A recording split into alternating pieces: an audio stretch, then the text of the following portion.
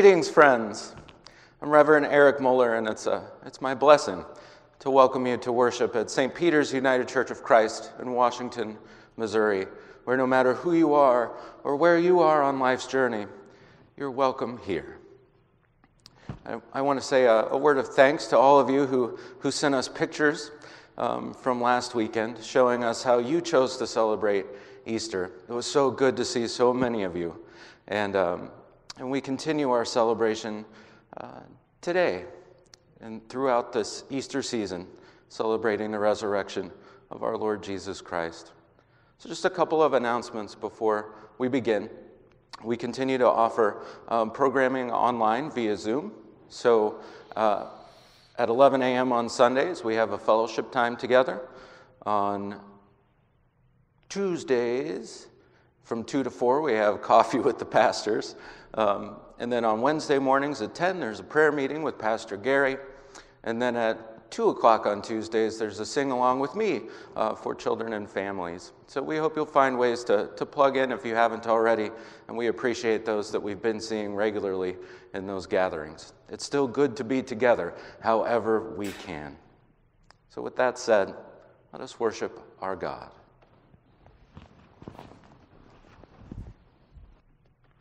Would you please rise in body or spirit for our call to worship? Today is the first day of the week, the day of resurrection and new life, the day that the Alleluia is reborn. Praise God, praise God, Alleluia. Beyond every mournful cry of despair, we sing Alleluia to the living God Praise God. Praise God. Alleluia. Above the noise of human conflict and the disappointment of dreams that die, we sing a song of life that triumphs. Alleluia, alleluia to the living God. Praise God, praise God. Let all the people praise God. Alleluia. Please join me in our prayer of invocation. How good it is to be gathered today, O God. Our lives have become so scattered and isolated. We are broken in so many ways. We ache to be near our families and friends in these days. We long to be accompanied by you and by others on life's journey. And so we come together now in the spirit of the risen Christ we pray for Jesus to rise among us, to relieve our fears, and to empower us for his service in the world. Fill us with your new life, we pray. Come, risen one, come. Alleluia, alleluia. Our hymn is Yours is the Glory, Resurrected One. It's number 253 in the New Century Hymnal. Let us sing together.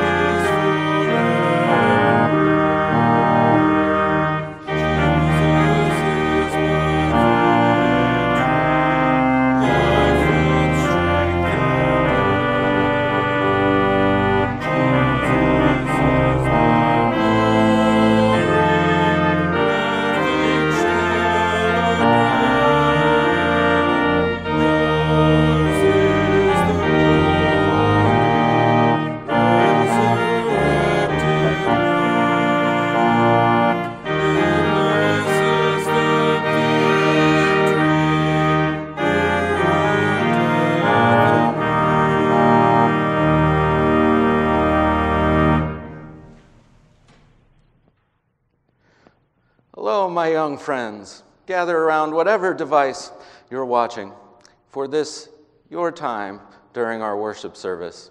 And happy Easter to you all. You see, it still is Easter. We celebrated Jesus' resurrection last Sunday, which we call Easter Sunday, but it's really a whole season. And, uh, and I'm sure you have enough candy to get you through it. So today, we have a story about the disciples encountering the now living Christ. So on Friday, they, they witnessed the, the death of their friend and their leader. And now, on the third day, they're in a locked room together. And it's locked because they're afraid. They're afraid that what happened to Jesus might happen to them as well, that someone might hurt them or take their life. And so they're all locked together, just waiting and wondering what will happen next. They're all knotted up inside, you see. That's what fear and anxiety and worry does to us. It makes us all knotted up. And well, Jesus, in that time, in that locked room, appears to them. He comes among them. And the first thing he says to them is, Peace be with you. Peace be with you. And then a week later, those same disciples are once again in this room, locked up, afraid, worried, anxious. And Jesus shows up again and says, Peace be with you. Don't worry about anything is what he's saying. Well, right now, a lot of us, all of us, are kind of in locked rooms, right? And that can make us anxious and worried. We miss our friends and we worry about them. We miss our teachers and we worry about them. And we miss coming to church. We miss going to our favorite restaurants or throwing rocks in the river. And we're all knotted up with worry and anxiety. But then we remember that Jesus is still with us and that God's goodness is still all around us in the time that we get to spend with our family, time spent playing in the yard or taking walks, noticing all the beautiful flowers around us, time playing games and watching movies. Well, those are the moments that Jesus enters in and gives us peace. And our knots come undone. So lean into those moments and embrace them, enjoy them, and take care. Know that God loves you. Peace be with you.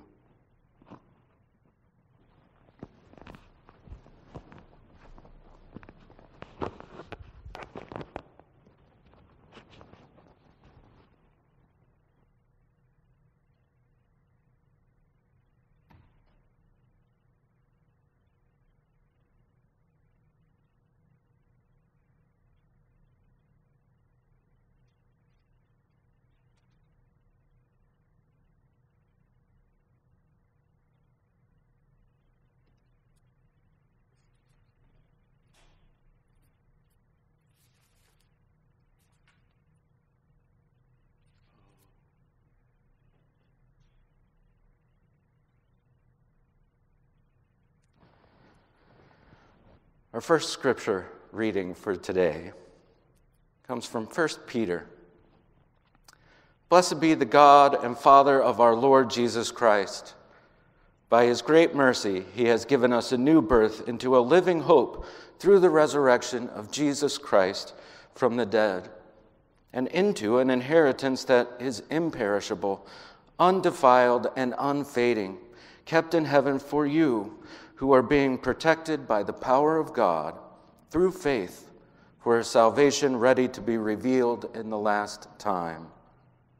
In this you rejoice, even if now for a little while you have had to suffer various trials, so that the genuineness of your faith, being more precious than gold, that though perishable is tested by fire, may be found to result in praise and glory and honor when Jesus Christ is revealed. Although you have not seen him, you love him. And even though you do not see him now, you believe in him and rejoice with an indescribable and glorious joy, for you are receiving the outcome of your faith, the salvation of your souls. The second reading from the Gospel of John, chapter 20. When it was evening on that day, the first day of the week, and the doors of the house where the disciples had met were locked for fear of the Judeans, Jesus came and stood among them and said, Peace be with you. After he said this, he showed them his hands and his side. And then the disciples rejoiced when they saw the Lord. Jesus said to them again, Peace be with you.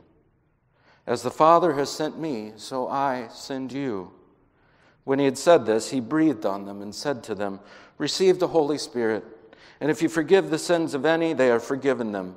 If you retain the sins of any, they are retained. But Thomas, who was called the twin, one of the twelve, was not with them when Jesus came. And so the other disciples told him, We've seen the Lord. But he said to them, Unless I see the mark of the nails in his hands, and put my finger in the mark of the nails, and my hand in his side, I will not believe. A week later, his disciples were again in the house, and Thomas was with them. Although the doors were shut, Jesus came and stood among them and said, Peace be with you. Then he said to Thomas, Put your finger here and see my hands. Reach out your hand and put it in my side. Do not doubt, but believe. Thomas answered him, My Lord and my God. Jesus said to him, Have you believed because you've seen me? Blessed are those who have not seen and yet have come to believe. Now, Jesus did many other signs in the presence of his disciples, which are not written in this book, but these are written so you may come to believe that Jesus is the Messiah, the Son of God, and that through believing you may have life in his name. The word of God for a people of God. Thanks be to God.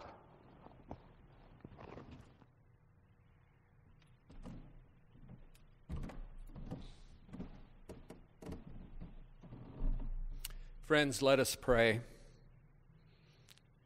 O living God, look upon your people gathered today. Reassure us with the good news of Christ's resurrection. Raise us up by the power of your Spirit that we may not give up when life becomes exceedingly hard.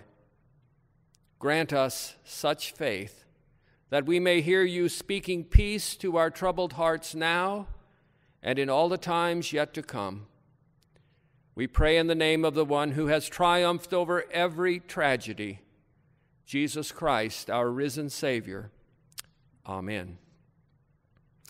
Well, they call this day Low Sunday because on this Sunday we are still recuperating from the exuberance of that other Sunday, Easter. It's hard to sustain the strains of Easter joy when the world's troubles flood in upon us. We get worn down and we get worn out. But the good news is that we do not uh, create Easter. It's not up to us to fabricate the joy. Resurrection is always a gift, a surprising gift bestowed upon us by the living God. Eternal life comes to us from the outside, that is, from God who loves us. It is always a gift, an amazing gift of God's love, this Easter joy. And so, on this low Sunday, the text comes to us from the letter of 1 Peter. It's part of an ancient baptismal sermon. It is a reminder that resurrection happens in the waters of baptism. The text begins with blessing, pure praise. Blessed be the God and Father of our Lord Jesus Christ! Exclamation point. There is reason to praise God, for it is by God's great mercy that He has given us a new birth to a living hope through the resurrection of Jesus Christ from the dead. When we rise from the baptismal waters, hope is born. When we rise from the tragedy of death, hope is born. This hope points us to the future where there is an inheritance given us by God, an inheritance that will never be lost. It is secure. There is a salvation, a healing coming, a saving grace coming that will be revealed fully in that blessed time when Jesus finally returns. There is a future for us. Even though the present seems diminished and defined by sufferings and by many trials, there is a future for us. Make no mistake, this is not pie in the sky when you die theology. This is a living hope that transcends the troubles and empowers us to face them. I recently read an article about Magda Gobran, Mama Maggie, as she is called in Egypt. Do you know her name? Magda Gobran has been nominated for the 2020 Nobel Peace Prize for her work in the garbage slums of Cairo, Egypt. Gobran had a successful career. She was a woman of means when, in her 30s, she spotted a child in the garbage in a dump in Cairo, Egypt. That vision of that little child changed the course of her life. She found her calling in those garbage slums of Cairo. Gobran created Stephen's ministry, Stephen's children, excuse me, a ministry which serves all people, no matter what their ethnicity or religion in Egypt. Her passion has become to eliminate poverty and discrimination. Stephen's Children also provides literacy classes for girls and women to raise those who were easily overlooked to the fullness of life. Her ministry gives them a future. Mama Maggie has recruited some 2,000 professional volunteers to assist her in that work.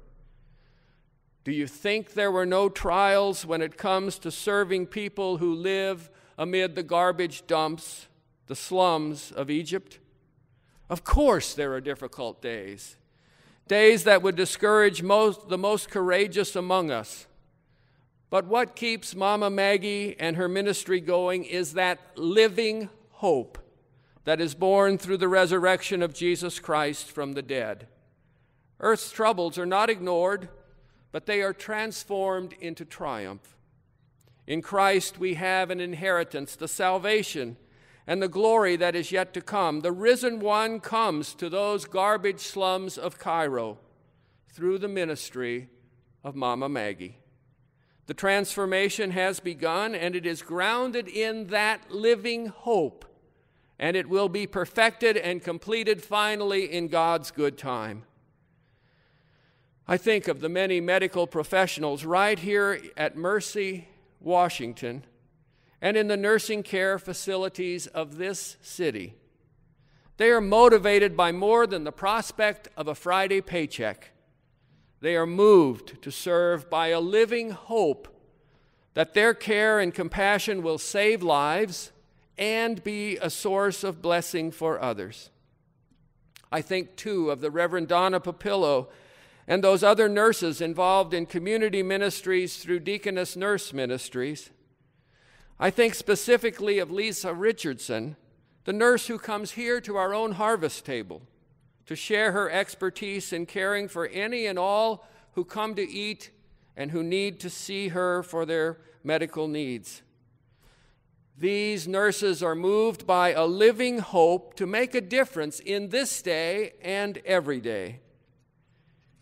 In the meantime, there is today. This is our day. This low Sunday may be a high and holy moment for us when our faith propels us to act in the garbage dumps where we live. We need not surrender to feeling low on Low Sunday. We can rest and be renewed knowing the work of ministry is not all to us entirely. We have this service we do as Christian people as a gift. We are not stuck looking down at our toes in the present, but we are offered a glimpse of God's glory, a glimpse of heaven, And that vision empowers us to pray and to serve and to work hard together. It is a living hope that changes the world that is into the world as God wants it to be. These days of our plague, COVID 19, will end. This trial will be gone. We will grieve the loss of thousands and thousands of people, but we will also entrust them to the power and promise of Christ's resurrection. We will grieve the changes that have come upon us in our own society and even in our own church, but we will move through them and embrace them because we too have been born to a living hope through the resurrection of Jesus Christ from the dead. It's that hope that empowers us to persevere, not to give up and not to give in, and never to surrender to despair or fear or grief. So, my Christian friends, come out from the locked places where we are huddled in fear, move out across the street to use our own privilege and our own status that accrues with our class in humility and hope, let us cross the street to those others who need us. And in some cases, let us cross the globe itself to change the world with the love of God. Peace be with you. Peace be with you. In the resurrection of Jesus Christ, we are born to hope. Alleluia. Amen.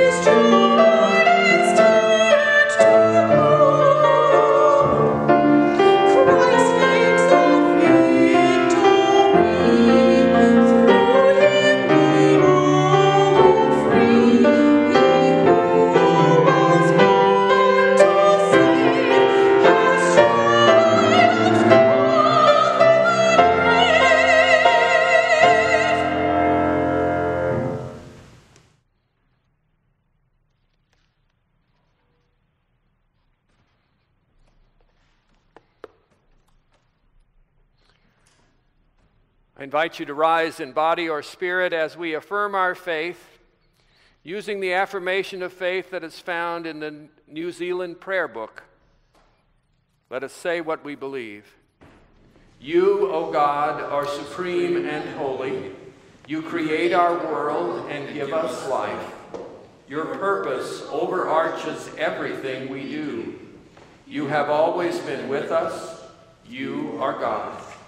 You, O God, are infinitely generous, good beyond all measure. You came to us before we came to you. You have revealed and proved your love for us in Jesus Christ, who lived and died and rose again. You are with us now. You are God. You, O God, are Holy Spirit. You empower us to be your gospel in the world. You reconcile and heal. You overcome death. You are our God. We worship you.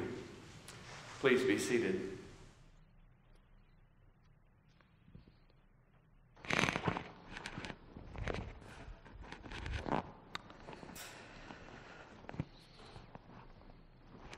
We uh, now come to our moment of prayer.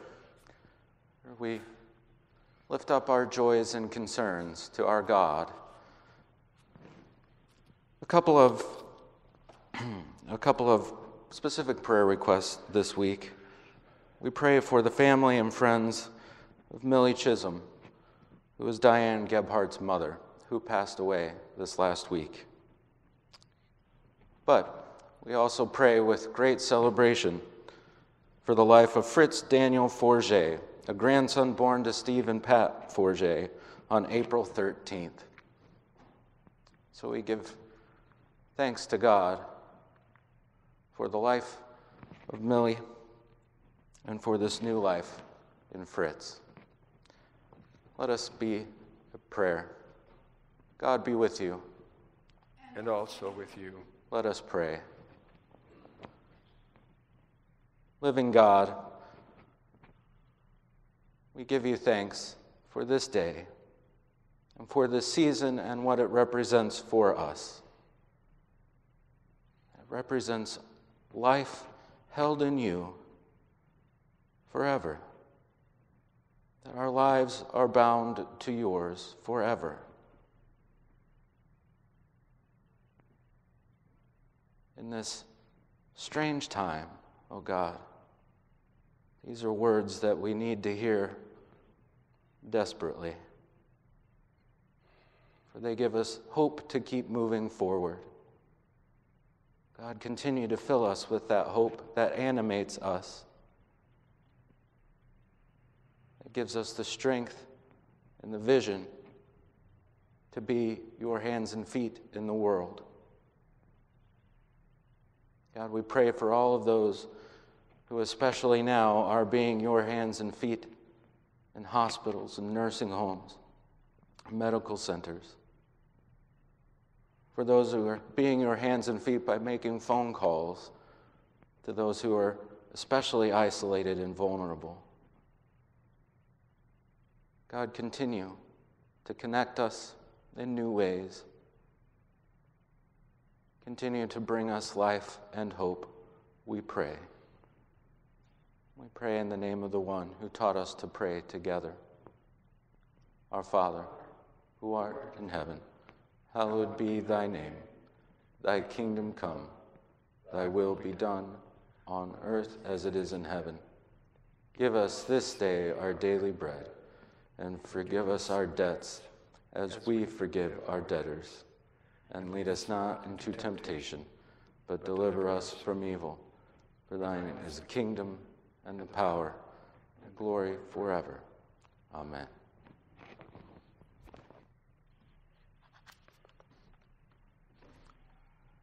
Good morning, friends. As we begin uh, to receive our offerings, I first want to say thank you. Thank you for the ways that you continue to support the ministry of the church.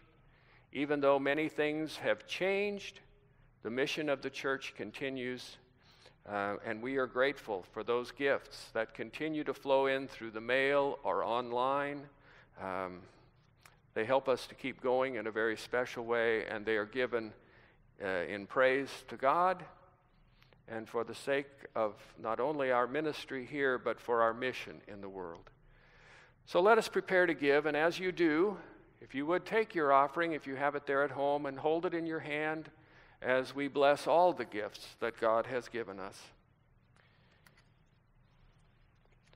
Friends, we have been greatly blessed by God. By God's great mercy, we have been born anew to a living hope. The resurrection of Jesus Christ fills our lives with exuberant joy. Let us praise God as we share the abundance of our lives.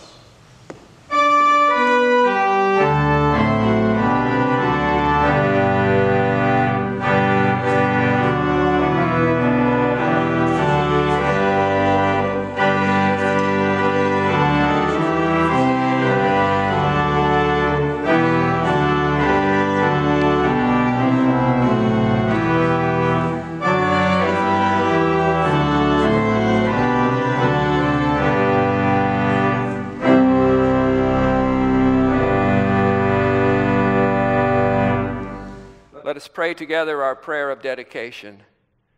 Thank you, Holy God, for the gift of life. The good news of Jesus' resurrection stirs our hearts and fills us with hope.